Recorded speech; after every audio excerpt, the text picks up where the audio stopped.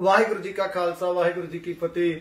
ਕੁਝ ਦਿਨਾਂ ਤੋਂ ਆਪਾਂ ਘਰਾਂ ਦੇ ਵਿੱਚ ਲਾਕਡਾਊਨ ਆ, ਸੋ ਉਸ ਦਾ ਫਾਇਦਾ ਲੈਣ ਵਾਸਤੇ ਅਸੀਂ ਸੋਚਿਆ ਵੀ ਇੱਕ ਇਤਿਹਾਸਕ ਲੜੀਵਾਰ ਪ੍ਰੋਗਰਾਮ ਜਿਹੜਾ ਸਟਾਰਟ ਕੀਤਾ ਜਾਵੇ। 1700 ਤੋਂ ਲੈ ਕੇ 1800 ਤੱਕ ਜਿਹੜਾ ਆਪਣੇ ਸਰਦਾਰ ਜੱਸਾ ਸਿੰਘ ਆਲੂ ਵਾਲੀਆ, ਸਰਦਾਰ ਚਰਤ ਸਿੰਘ ਤੇ ਜਿੰਨੇ ਆਪਣੇ ਹੋਰ ਝੁਝਾਰੂ ਸਿੰਘ ਸੀਗੇ, ਜਿਨ੍ਹਾਂ ਨੇ ਸਿੱਖ ਰਾਜ ਕਾਇਮ ਕਰਨ ਵਾਸਤੇ ਬਹੁਤ ਵੱਡੀਆਂ ਕੁਰਬਾਨੀਆਂ ਕੀਤੀਆਂ। ਤਾਂ ਉਹਨਾਂ ਨੂੰ ਆਪਾਂ ਥੋੜਾ ਜਿਹਾ ਦੇਖਾਂਗੇ ਤੇ ਉਸ ਤੋਂ ਬਾਅਦ ਸਿੱਖ ਰਾਜ ਜਿਹੜਾ ਮਹਾਰਾਜਾ ਰਣਜੀਤ ਸਿੰਘ ਨੇ ਕਾਇਮ ਕੀਤਾ ਹੈ ਤੇ ਉਹ, ਉਹਨੂੰ ਵੀ ਆਪਾਂ ਥੋੜਾ ਜਿਹਾ ਇਤਿਹਾਸ ਨੂੰ ਸਿੱਖਣ ਦੀ ਕੋਸ਼ਿਸ਼ ਕਰਾਂਗੇ। ਪਰ ਜਿਹੜਾ ਅੱਜ ਦਾ ਟੌਪਿਕ ਹੈਗਾ ਆ, ਉਹ ਹੈਗਾ ਇਹ ਪਾਣੀਪਤ ਦੀ ਜਿਹੜੀ ਲੜਾਈ ਆ। ਸੋ ਇਹ ਮੂਵੀ ਜਿਹੜੀ ਪਾਣੀਪਤ ਦੀ ਹੈਗੀ ਆ, ਇਹ ਹੁਣ ਦਸੰਬਰ ਦੇ ਵਿੱਚ ਆਈ ਸੀਗੀ ਤੇ ਪਾਣੀਪਤ ਦੀ ਮੂਵੀ ਦੇ ਵਿੱਚ ਅਬਦਾਲੀ ਦੀ, ਅਹਿਮਦ ਸ਼ਾਹ ਅਬਦਾਲੀ ਦੀ ਤੇ ਸ਼ਿਵਾ ਰਾਓ ਭਾਊ ਦੀ ਜਿਹੜੀ ਲੜਾਈ ਹੋਈ ਆ। ਉਹਦੇ ਵਿੱਚ ਕੀ ਕੀ ਇਹਨਾਂ ਨੇ ਮੂਵੀ ਦੇ ਵਿੱਚ ਦਿਖਾਇਆ ਉਹ ਮੂਵੀ ਦੇਖਣ ਤੋਂ ਬਾਅਦ ਸਾਡੇ ਕੁਝ ਇਤਰਾਜ਼ ਸੀਗੇ ਕਿ ਜਿਹੜਾ ਇਤਿਹਾਸ ਦੇ ਨਾਲ ਛੇੜਛਾੜ ਹੋਈ ਹੈ। ਜਦੋਂ ਇਤਿਹਾਸ ਦੇ ਨਾਲ ਛੇੜਛਾੜ ਹੋਈ ਹੁੰਦੀ ਆ ਹੁੰਦੀ ਆ ਉਹ ਐਂ ਲੱਗਦਾ ਵੀ ਜਿੱਦਾਂ ਇਤਿਹਾਸ ਨਾਲ ਇੱਕ ਦਗਾ ਕਮਾਉਣ ਵਾਲੀ ਗੱਲ ਹੁੰਦੀ ਆ। ਸੋ ਜਿਹੜਾ ਅ, ਇਤਰਾਜ਼ ਸਾਡੇ ਇਹ ਹੈਗੇ ਆ ਕਿ ਇਹਨਾਂ ਨੇ ਇੱਕ ਤਾਂ ਇਹ ਚੀਜ਼ ਦਿਖਾਈ ਆ ਕਿ ਬਾਬਾ ਆਲਾ ਸਿੰਘ ਨੂੰ ਬੜਾ ਲਾਚਾਰ ਤੇ ਕਮਜ਼ੋਰ ਦਿਖਾਇਆ ਉਹਦੇ ਵਿੱਚ ਤੇ ਜਿਹੜਾ ਜੱਸਾ ਸਿੰਘ ਆਲੂ ਵਾਲੀਆ ਸਰਦਾਰ ਜੱਸਾ ਸਿੰਘ ਹੋਣੀ ਤੇ ਸਰਦਾਰ ਚੜਤ ਸਿੰਘ ਹੋਣਾ ਦਾ, ਜਿਨ੍ਹਾਂ ਦਾ ਰੋਲ ਬੜਾ ਅਹਿਮ ਸੀਗਾ ਕਿ ਇਹਨਾਂ ਦੀਆਂ ਜਿਹੜੀਆਂ ਜਦੋਂ ਇਹਨਾਂ ਦੀ ਜੰਗ ਹੁੰਦੀ ਆ, ਮਰਟਿਆਂ ਦੀ ਜੰਗ ਹੁੰਦੀ ਆ, ਤੇ ਇਹ ਆਪਣੀਆਂ ਤੀਵੀਆਂ ਨਾਲ ਲੈ ਕੇ, ਆਪਣੀਆਂ ਘਰ ਵਾਲੀਆਂ ਨਾਲ ਲੈ ਕੇ ਇਸ ਜੰਗ ਦੇ ਵਿੱਚ ਆਏ ਸੀਗੇ। ਇਹਦਾ ਇੱਕ ਕਾਰਨ ਇਹ ਸੀਗਾ ਕਿ ਇਹਨਾਂ ਨੂੰ, ਮਰਟਿਆਂ ਨੂੰ ਇਹ ਪੂਰਨ ਤੌਰ ਤੇ ਯਕੀਨ ਸੀਗਾ ਵੀ ਅਸੀਂ ਅਹਿਮਦ ਸ਼ਾਹ ਅਬਦਾਲੀ ਨੂੰ ਹਰਾ ਦੇਣਾ ਆ। ਤੇ ਹਰਾਉਣ ਤੋਂ ਬਾਅਦ ਇਹਨਾਂ ਦਾ ਸੀਗਾ ਵੀ ਅਸੀਂ ਆਪਣੀ ਪੂਰੀ ਸ਼ਾਨੋ ਸ਼ੌਕਤ ਦੇ ਨਾਲ ਆਪਣੇ ਪਰਿਵਾਰ ਦੇ ਨਾਲ ਹੀ ਜਿੱਤ ਜਿਹੜੀ ਆ, ਉਹਦਾ ਜਸ਼ਨ ਮਨਾਉਂਦੇ ਆਵਾਂਗੇ। ਪਰ ਹੋਇਆ ਉੱਥੇ ਪੁੱਠਾ ਕਿ ਅਹਿਮਦ ਸ਼ਾਹ ਅਬਦਾਲੀ ਜਿਹੜਾ ਸੀਗਾ, ਉਹ ਜਿੱਤ ਗਿਆ। ਤੇ ਅਹਿਮਦ ਸ਼ਾਹ ਅਬਦਾਲੀ ਜਿੱਤਣ ਤੋਂ ਬਾਅਦ ਉਹਨੇ ਜਿਹੜੀਆਂ ਇਹਨਾਂ ਦੀਆਂ ਤੀਵੀਆਂ ਸੀਗੀਆਂ ਤੇ ਉੱਥੇ ਜਿੰਨੀ ਲੁੱਟ ਮਾਰ ਸੀਗੀ, ਉਹ ਸਾਰੀ ਕਰ ਲਈ ਸੀਗੀ। ਲੁੱਟ ਮਾਰ ਕਰਨ ਤੋਂ ਬਾਅਦ ਅਹਿਮਦ ਸ਼ਾਹ ਅਬਦਾਲੀ ਜਿਹੜਾ ਆ, ਉਹ ਜਦੋਂ ਨਿਕਲਦਾ ਲਾਹੌਰ ਨੂੰ ਜਾਣ ਦੀ ਕੋਸ਼ਿਸ਼ ਕਰਦਾ, ਪਿੱਛੇ ਨੂੰ ਮੁੜਨਾ ਚਾਹੁੰਦਾ ਆ, ਤੇ ਉਦੋਂ ਸਰਦਾਰ ਜੱਸਾ ਸਿੰਘ ਆਲੂ ਵਾਲੀਆ ਸਰਦਾਰ ਚੜਤ ਸਿੰਘ ਹੁਣੀ ਉਹਨੂੰ ਰਾਹ ਦੇ ਵਿੱਚ ਰੋਕਦੇ ਨੇ, ਰੋਕ ਕੇ ਤੇ ਲੁੱਟ ਮਾਰ ਕਰਦੇ ਨੇ ਤੇ ਲੁੱਟ ਜਿਹੜੀ ਇਹਨੇ ਕੀਤੀ ਸੀ, ਅਹਿਮਦ ਸ਼ਾਹ ਅਬਦਾਲੀ ਨੇ ਹਿੰਦੁਸਤਾਨ ਦੀ, ਉਹ ਸਾਰੀ ਦੁਬਾਰਾ ਇਹਦੇ ਕੋਲੋਂ ਮਾਲ ਜਿਹੜਾ ਉਹ ਲੁੱਟਦੇ ਨੇ ਤੇ ਜਿਹੜੀਆਂ ਤੀਵੀਆਂ ਮਰਟਿਆਂ ਦੀਆਂ ਸੀਗੀਆਂ, ਉਹ ਸਾਰੀਆਂ ਛਡਾਉਂਦੇ ਨੇ। ਛਡਾਉਣ ਤੋਂ ਬਾਅਦ ਇਹਨਾਂ ਦੀਆਂ ਸਾਰੀਆਂ ਤੀਵੀਆਂ ਆਪਣੇ ਖਰਚਿਆਂ ਦੇ ਉੱਪਰ ਸਰਦਾਰ ਚੜਤ ਸਿੰਘ, ਸਰਦਾਰ ਜੱਸਾ ਸਿੰਘ ਆਲੂ ਵਾਲੀਆ ਇਹ ਸਾਰੇ ਸਰਦਾਰਾਂ ਨੇ ਇਹਨਾਂ ਦੇ ਘਰੇ ਤੱਕ ਪਹੁੰਚਦੀਆਂ ਕੀਤੀਆਂ। ਸੋ ਇਹਨਾਂ ਨੂੰ ਸ਼ਾਇਦ ਇਸ ਚੀਜ਼ ਦੇ ਵਿੱਚ ਵੀ ਥੋੜੀ ਜੀ ਨਮੋਸ਼ੀ ਲੱਗਦੀ ਹੋਊਗੀ ਵੀ ਅਸੀਂ ਜਦੋਂ ਤੀਵੀਆਂ ਜਿਹੜੀਆਂ ਅਹਿਮਦ ਸ਼ਾਹ ਅਬਦਾਲੀ ਸਾਡੀਆਂ ਫੜ ਕੇ ਲੈ ਜਾਊਗਾ ਤੇ ਸਰਦਾਰ ਜੱਸਾ ਸਿੰਘ ਹੁਣੀ, ਸਰਦਾਰ ਚੜਤ ਸਿੰਘ ਹੁਣੀ ਜਦੋਂ ਛਡਾਉਣਗੇ ਤੇ ਸਾਨੂੰ ਮਤਲਬ ਸਿੱਖਾਂ ਦੇ ਅਹਿਸਾਨਾਂ ਥੱਲੇ ਦੱਬੇ ਨਾ ਮਹਿਸੂਸ ਹੋਣਾ ਪਊਗਾ। ਇਸ ਕਰਕੇ ਮੂਵੀ ਦੇ ਵਿੱਚ ਇਹਨਾਂ ਨੇ ਇਹ ਚੀਜ਼ ਵੀ ਦਿਖਾਈ ਹੈ ਕਿ ਇਹਨਾਂ ਨੇ ਜੰਗ ਦੇ ਵਿੱਚ ਇੱਕ ਰਾਜੇ ਦੀ ਡਿਊਟੀ ਲਾਈ ਜਿਹੜੇ ਰਾਜੇ ਨੇ ਇਹਨਾਂ ਦੀਆਂ ਤੀਵੀਆਂ ਜਿਹੜੀਆਂ ਸਹੀ ਸਲਾਮਤ ਉੱਥੋਂ ਕੱਢ ਕੇ ਤੇ ਇਹਨਾਂ ਦੇ ਪੇਸ਼ਵਾ ਰਾਜੇ ਤੱਕ ਪਹੁੰਚਦੀਆਂ ਕਰ ਦਿੱਤੀਆਂ। ਸੋ ਉਹ ਗੱਲ ਜਿਹੜੀ ਸੀਗੀ ਉਹ ਝੂਠੀ ਸੀਗੀ। ਉਹ ਮਹਾਰਾਜਾ ਜਿਹੜਾ ਸਰਦਾਰ ਜੱਸਾ ਸਿੰਘ ਤੇ ਸਰਦਾਰ ਚੜਤ ਸਿੰਘ ਉਹਨਾਂ ਦਾ ਰੋਲ ਜਿਹੜਾ ਆ ਉਹ ਕੱਟ ਦਿੱਤਾ ਗਿਆ ਉਹਦੇ ਵਿੱਚੋਂ।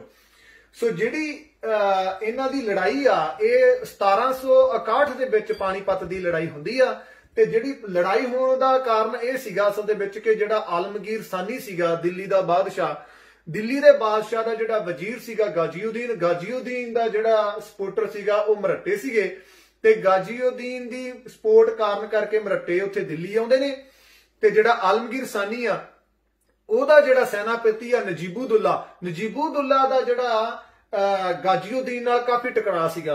ਟਕਰਾਅ ਹੌਲੀ ਹੌਲੀ ਜਦੋਂ ਵਧਣ ਦੇ ਕਾਰਨ ਕਰਕੇ ਜਦੋਂ ਅਹ, ਗਾਜੀਉਦੀਨ ਨੇ ਮਰੱਟੇ ਸੱਦੇ ਤੇ ਆਲਮਗੀਰ ਸਾਨੀ ਤੇ ਨਜੀਬੂਦੁੱਲਾ ਨੇ ਅਬਦਾਲੀ ਨੂੰ ਚਿੱਠੀ ਦੇ ਕੇ ਤੇ ਆਪਣੀ ਮਦਦ ਵਾਸਤੇ ਬੁਲਾਇਆ। ਮਦਦ ਵਾਸਤੇ ਇਹ ਅਹਿਮਦ ਸ਼ਾਹ ਅਬਦਾਲੀ ਦਾ ਇੱਕ ਹੋਰ ਵੀ ਬਹੁਤ ਵੱਡਾ ਕਾਰਨ ਸੀਗਾ ਹਿੰਦੁਸਤਾਨ ਦੇ ਉੱਪਰ ਜਿਹੜਾ ਪੰਜਵਾਂ ਹਮਲਾ ਕਰਨ ਦਾ। ਕਿਉਂਕਿ ਜਦੋਂ ਚੌਥੇ ਹਮਲੇ ਦੇ ਵਿੱਚ ਅਹਿਮਦ ਸ਼ਾਹ ਅਬਦਾਲੀ ਆਉਂਦਾ ਆ, ਤੇ ਆਪਣਾ ਜਿਹੜਾ ਇਹਦਾ ਪੁੱਤਰ ਆ, ਤਮੂਰ ਸ਼ਾਹ ਤਮੂਰ ਸ਼ਾਹ ਨੂੰ ਲਾਹੌਰ ਦਾ ਸੂਬੇਦਾਰ ਬਣਾ ਕੇ ਜਾਂਦਾ ਆ। ਤਾਂ ਜਿਹੜੇ ਮਰੱਟੇ ਸੀਗੇ, ਅਹਿਮਦ ਸ਼ਾਹ ਅਬਦਾਲੀ ਦੇ ਜਾਣ ਤੋਂ ਬਾਅਦ ਮਰੱਟਿਆਂ ਨੇ ਲਾਹੌਰ ਦੇ ਉੱਪਰ ਜਦੋਂ ਚੜ੍ਹਾਈ ਕੀਤੀ ਆ ਤੇ ਜਿਹੜਾ ਤਮੂਰ ਸ਼ਾਹ ਹੈ, ਤਮੂਰ ਸ਼ਾਹ ਉੱਥੋਂ ਭੱਜ ਜਾਂਦਾ ਆ ਤੇ ਨਿਕਲ ਜਾਂਦਾ ਆ ਤੇ ਇਹਨਾਂ ਨੇ ਉਹ ਜਿਹੜਾ ਲਾਹੌਰ ਆ, ਉਹ ਆਪਣੇ ਅੰਡਰ ਫਿਰ ਕਰ ਲਿਆ ਸੀਗਾ।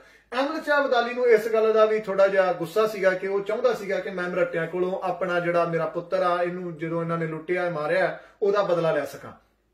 ਸੋ ਇਹਨਾਂ ਨੇ ਮੂਵੀ ਦੇ ਵਿੱਚ ਇੱਕ ਚੀਜ਼ ਹੋਰ ਦਿਖਾਈ ਆ ਕਿ ਅਹਿਮਦ ਸ਼ਾਹ ਅਬਦਾਲੀ ਜਿਹੜਾ ਆ, ਉਹ ਸਵਾ ਲੱਖ ਦੀ ਫੌਜ ਲੈ ਕੇ ਆਉਂਦਾ ਆ ਤੇ ਜਿਹੜਾ ਮਰੱਟੇ ਆ, ਇਹ ਆਪਣੀ 80000 ਦੀ ਫੌਜ ਲੈ ਕੇ ਆਉਂਦੇ ਆ। ਇਹ ਵੀ ਗੱਲ ਜਿਹੜੀ ਝੂਠ ਆ, ਕਿਉਂਕਿ ਅਹਿਮਦ ਸ਼ਾਹ ਅਬਦਾਲੀ ਜਿਹੜਾ ਆ, ਇਤਿਹਾਸ ਦੇ ਵਿੱਚ ਜ਼ਿਕਰ ਆਉਂਦਾ ਹੈ ਕਿ 80000 ਫੌਜ ਲੈ ਕੇ ਆਉਂਦਾ ਆ ਤੇ ਜਿਹੜਾ ਸ਼ਿਵਾ ਸ਼ਿਵਾ ਰਾਓ ਜਿਹੜਾ ਆ, ਇਹ ਸਵਾ ਲੱਖ ਦੀ ਫੌਜ ਲੈ ਕੇ ਤੇ ਲੜਾਈ ਜੰਗ ਦੇ ਵਿੱਚ ਮੈਦਾਨ ਦੇ ਵਿੱਚ ਉਤਰਦਾ ਆ। ਕਿਉਂਕਿ 40000 ਤੇ ਕੁਝ ਆਪਣੀ ਫੌਜ ਦੱਸਦਾ ਆ ਮੂਵੀ ਦੇ ਵਿੱਚ ਹੀ। ਤੇ ਇਹਨਾਂ ਜਿੰਨੀਆਂ ਸਿਆਸਤਾਂ, ਰਿਆਸਤਾਂ ਸੀਗੀਆਂ, ਉਹ ਰਿਆਸਤਾਂ ਦੇ ਵਿੱਚ ਜਿਹੜੇ ਛੋਟੇ ਛੋਟੇ ਰਾਜੇ ਸੀ, ਕਿਸੇ ਨੇ 5000 ਕਿਸੇ ਨੇ 20000 ਕਿਸੇ ਨੇ 10000 ਇਦਾਂ ਕਰਕੇ ਆਪਣੀ ਸੈਨਾ ਦੀ ਜਿਹੜੀ ਮਦਦ ਆ, ਉਹ ਸ਼ਿਵਾ ਰਾਓ ਨੂੰ ਦਿੱਤੀ ਸੀਗੀ। ਸੋ ਜਿਹੜੀ ਇਹਨਾਂ ਨੇ ਬਾਅਦ ਚ ਮੂਵੀ ਦੇ ਐਂਡ ਹੋਣ ਤੋਂ ਗੱਲ ਕੀਤੀ ਆ, ਉਹ ਇਹਨਾਂ ਨੇ ਇਹ ਕਿਹਾ ਕਿ ਅਹਿਮਦ ਸ਼ਾਹ ਅਬਦਾਲੀ ਜਦੋਂ ਇੱਕ ਚਿੱਠੀ ਲਿਖ ਕੇ ਭੇਜਦਾ ਆ ਐਂਡ ਹੋਣ ਤੋਂ ਬਾਅਦ, ਚਿੱਠੀ ਦੇ ਵਿੱਚ ਅਹਿਮਦ ਸ਼ਾਹ ਅਬਦਾਲੀ ਲਿਖ ਰਿਹਾ ਕਿ ਮੈਂ ਸ਼ਿਵਾਜੀ ਰਾਓ ਵਰਗਾ, ਸ਼ਿਵਾ ਰਾਓ ਵਰਗਾ ਕੋਈ ਇਦਾਂ ਦਾ ਬਹਾਦਰ ਸੂਰਮਾ ਨਹੀਂ ਦੇਖਿਆ। ਕਿ ਇੰਨੀ ਇੰਨੀ ਬਹਾਦਰੀ ਨਾਲ ਉਹ ਜੰਗ ਲੜਦਾ ਆ ਕਿ ਮੇਰੀਆਂ ਅੱਖਾਂ ਦੇ ਸਾਹਮਣੇੋਂ ਉਸ ਦਾ ਚਿਹਰਾ ਉਸ ਦਾ ਸੀਨ ਨਹੀਂ ਜਾਂਦਾ। ਸੋ ਇਹ ਅਹਿਮਦ ਸ਼ਾਹ ਅਬਦਾਲੀ ਚਿੱਠੀ 'ਚ ਲਿਖਦਾ ਹੈ ਤੇ ਕਹਿੰਦਾ, ਨਾਲ ਇਹ ਕਹਿੰਦਾ ਵੀ ਇੰਨੀ ਬਹਾਦਰ ਕੌਮ ਦੇ, ਮੈਂ ਅੱਜ ਤੱਕ ਕੋਈ ਕੌਮ ਨਹੀਂ ਦੇਖੀ ਤੇ ਇਸ ਤੋਂ ਬਾਅਦ ਮੈਂ ਕਦੀ ਹਿੰਦੁਸਤਾਨ ਦੀ ਧਰਤੀ ਤੇ ਪੈਰ ਨਹੀਂ ਪਾਉਂਗਾ ਤੇ ਤੁਸੀਂ ਹਿੰਦੁਸਤਾਨ ਤੇ ਰਾਜ ਜਿਹੜਾ ਆ, ਉਹ ਖੁਦਾ ਕਰੇ ਕਿ ਤੁਸੀਂ ਕਰਦੇ ਰਹੋ। ਤਾਂ ਅਹਿਮਦ ਸ਼ਾਹ ਅਬਦਾਲੀ ਨੂੰ ਜਿੱਤਣ ਤੋਂ ਬਾਅਦ ਵੀ ਇਦਾਂ ਮਹਿਸੂਸ ਕਰਾਇਆ ਗਿਆ ਕਿ ਉਹ ਹਾਰਿਆ ਸੀਗਾ।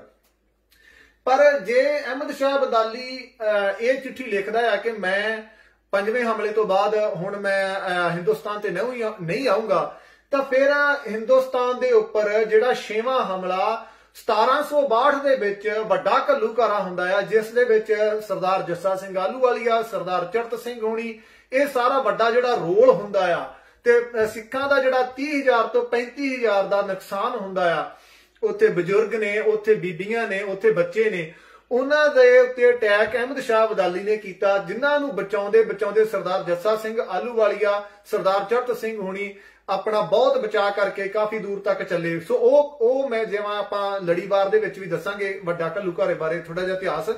ਅੱਜ ਜਿਹੜੀ ਗੱਲ ਮੈਂ ਕਰਨੀ ਚਾਹੁੰਦਾ ਹੈ ਕਿ 1761 ਦੇ ਵਿੱਚ ਪਾਣੀਪਤ ਦੀ ਲੜਾਈ ਹੈ। 1762 ਦੇ ਵਿੱਚ ਵੱਡਾ ਘੱਲੂਕਾਰਾ ਹੁੰਦਾ ਆ। ਤੇ ਅਹਿਮਦ ਸ਼ਾਹ ਅਬਦਾਲੀ ਦਾ ਜਿਹੜਾ ਵੱਡਾ ਘੱਲੂਕਾਰਾ ਕਰਨ ਦਾ ਰੀਜ਼ਨ ਸੀਗਾ, ਉਹ ਖਾਸ ਕਰਕੇ ਇਹ ਸੀਗਾ ਕਿ ਜਦੋਂ 1761 ਦੀ ਪਾਣੀਪਤ ਦੀ ਲੜਾਈ ਸੀਗੀ, ਪਾਣੀਪਤ ਦੀ ਲੜਾਈ ਦੇ ਵਿੱਚ ਜਿਹੜੀਆਂ ਤੀਵੀਆਂ ਆ, ਉਹ ਅਹਿਮਦ ਸ਼ਾਹ ਅਬਦਾਲੀ ਫੜ ਕੇ ਲੈ ਕੇ ਜਾ ਰਿਹਾ ਆ। ਤੇ ਸਰਦਾਰ ਜਿਹੜੇ ਆਪਣੇ ਜੱਸਾ ਸਿੰਘ ਹੁਣੀ ਤੇ ਸਰਦਾਰ ਚੜਤ ਸਿੰਘ ਹੁਣੀ, ਇਹਨਾਂ ਨੇ ਜਦੋਂ ਤੀਵੀਆਂ ਛਡਾਈਆਂ ਤੇ ਨਾਲੇ ਅਹਿਮਦ ਸ਼ਾਹ ਅਬਦਾਲੀ ਨੂੰ ਲੁੱਟਿਆ। ਇਹਦਾ ਬਦਲਾ ਲੈਣਾ ਚਾਹੁੰਦਾ ਸੀਗਾ ਅਹਿਮਦ ਸ਼ਾਹ ਅਬਦਾਲੀ। ਇਸ ਕਾਰਨ ਕਰਕੇ 1762 ਦਾ ਜਿਹੜਾ ਵੱਡਾ ਘੱਲੂਕਾਰ ਆ ਉਹ ਅਹਿਮਦ ਸ਼ਾਹ ਅਬਦਾਲੀ ਕਰਦਾ ਆ। ਸੋ ਇਹਨਾਂ ਦੀਆਂ ਤੀਵੀਆਂ ਬਚਾਉਣ ਕਾਰਨ ਕਰਕੇ 25 ਤੋਂ 30 35 ਹਜ਼ਾਰ ਜਿਹੜਾ ਸਿੱਖ ਆ, ਉਹ ਸ਼ਹੀਦ ਹੁੰਦਾ ਆ।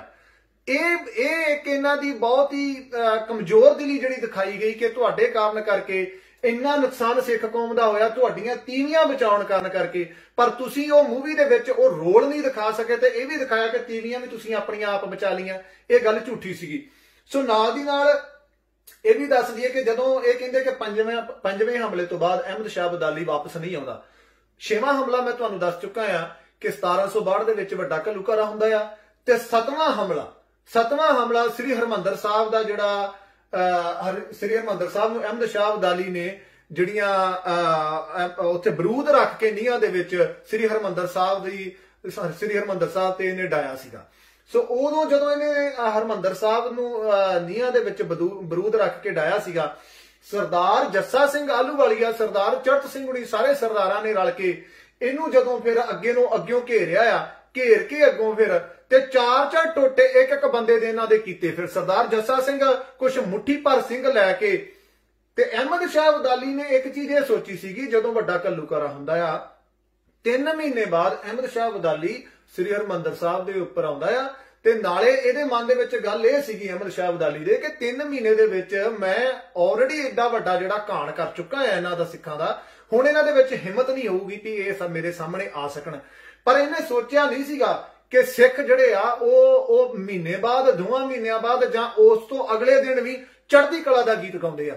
ਸੋ ਇਹਨੂੰ ਜਦੋਂ ਇਸ ਗੱਲ ਦਾ ਪਤਾ ਨਹੀਂ ਸੀਗਾ ਤੇ ਸਰਦਾਰ ਜੱਸਾ ਸਿੰਘ ਹੁਣਾਂ ਨੇ ਇਹਨੂੰ ਦੁਬਾਰਾ ਉੱਥੋਂ ਸ੍ਰੀ ਹਰਮੰਦਰ ਸਾਹਿਬ, ਇਹਨੇ ਜਿਹੜਾ ਸੀਗਾ ਸਰੋਵਰ, ਉਹ ਗਾਈਆਂ ਮਾਰ ਕੇ ਤੇ ਹੋਰ ਕਈ ਕੁਝ ਗੰਦ-ਮੰਦ ਸੁੱਟ ਕੇ ਉਹਦੇ ਵਿੱਚ ਤੇ ਉਹ ਪੂਰ ਦਿੱਤਾ ਸੀਗਾ। ਤੇ ਸਰਦਾਰ ਜੱਸਾ ਸਿੰਘ ਹੁਣਾਂ ਨੇ ਜਦੋਂ ਇਹਨੂੰ ਉੱਥੋਂ ਬਾਅਦ ਨਿਕਲਦੇ ਨੂੰ ਘੇਰਿਆ ਆ ਤੇ ਜਦੋਂ ਉੱਥੋਂ ਦੁਰਾਨੀ ਜਿਹੜੇ ਸੀਗੇ ਲੜਦੇ ਸੀਗੇ ਤੇ ਉਹਨਾਂ ਦੇ ਚਾਰ ਚਾਰ ਟੁੱਟੇ ਹੁੰਦੇ ਸੀਗੇ ਤੇ ਇਹ ਦੁਰਾਨੀਆਂ ਨੇ ਆਣ ਕੇ ਅਹਿਮਦ ਸ਼ਾਹ ਬਦਾਲੀ ਨੂੰ ਦੱਸਿਆ ਸੀਗਾ ਵੀ ਇਹ ਜੰਗ ਅਸੀਂ ਲੜਨਾ ਨਹੀਂ ਚਾਹੁੰਦੇ। ਤੇ ਅਹਿਮਦ ਸ਼ਾਹ ਬਦਾਲੀ ਨੇ ਪੁੱਛਿਆ ਸੀਗਾ ਵੀ ਕੀ ਕਾਰਨ ਮੇਰੇ ਵੱਡੇ ਵੱਡੇ ਜਿਹੜੇ ਜਰਨੈਲ ਵਾਪਸ ਕਾਹਤੋਂ ਮੁੜ ਰਹੇ ਆ?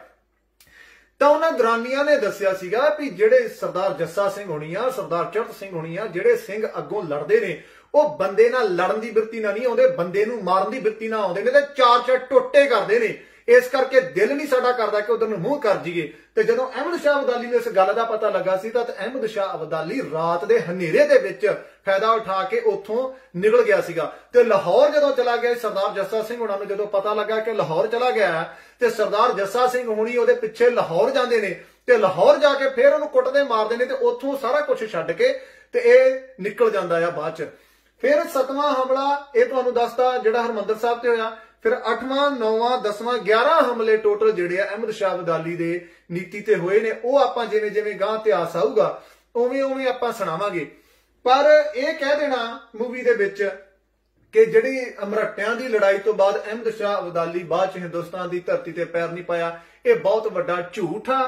ਤੇ ਇਹੋ ਜਿਹਾ ਝੂਠ ਜਿਹੜਾ ਸਾਨੂੰ ਸਾਰਿਆਂ ਨੂੰ ਮਿਲ ਕੇ ਇਤਿਹਾਸ ਨੂੰ ਖੋਜਣਾ ਚਾਹੀਦਾ ਹੈ ਤੇ ਨਾਲ ਸਟੈਂਡ ਲੈਣਾ ਚਾਹੀਦਾ ਹੈ ਵੀ ਜੇ ਇਤਿਹਾਸ ਦੇ ਨਾਲ ਛੇੜਛਾੜ ਹੋਊਗੀ ਤੇ ਉਹ ਕਦੀ ਬਰਦਾਸ਼ਤ ਨਹੀਂ ਕੀਤੀ ਜਾਊਗੀ। ਜੀ ਸਦਕੇ ਤੁਸੀਂ ਮੂਵੀਆਂ ਬਣਾਓ ਇਤਿਹਾਸਕ ਮੂਵੀਆਂ ਦੇ ਅਸੀਂ ਵੀ ਸ਼ਕੀਨ ਹੈਗੇ ਆ, ਦੇਖਣ ਦਾ ਮਨ ਕਰਦਾ ਹੈ ਪਰ ਜੇ ਤੁਸੀਂ ਇਹ ਚੀਜ਼ ਦਿਖਾਓ ਕਿ ਮਰੱਟੇ ਹੀ ਇਕੱਲੇ ਸਰਦਾਰ ਸੀਗੇ, ਮਰੱਟੇ ਹੀ ਇਕੱਲੇ ਜਿਹੜੇ ਸੀਗੇ, ਉਹਨਾਂ ਨੇ ਬਹੁਤ ਕੁਝ ਕੀਤਾ, ਇਹ ਵੀ ਗੱਲ ਝੂਠੀ ਆ। ਅਹਿਮਦ ਸ਼ਾਹ ਅਬਦਾਲੀ ਦੀ ਗਿੱਦੜ ਕੁੱਟ ਜਿਹੜੀ ਆ, ਉਹ ਸਰਦਾਰ ਜੱਸਾ ਸਿੰਘ ਆਲੂ ਵਾਲੀ ਆ ਤੇ ਸਰਦਾਰ ਚੜਤ ਸਿੰਘ ਨੇ ਕੀਤੀ ਸੀ ਤੇ ਇਹਦਾ ਜਿਹੜਾ ਆਉਣ ਦਾ ਹਰ ਵਾਰੀ ਮੂੰਹ ਪਿਆ ਸੀਗਾ, ਉਹਨੂੰ ਨੱਥ ਜਿਹੜੀ ਸੀਗੀ, ਉਹ ਸਰਦਾਰਾਂ ਸਿੱਖਾਂ ਨੇ ਪਾਈ ਸੀ। ਉਸ ਤੋਂ ਬਾਅਦ ਇਹਦਾ ਹੌਸਲਾ ਨਹੀਂ ਸੀ ਪਿਆ।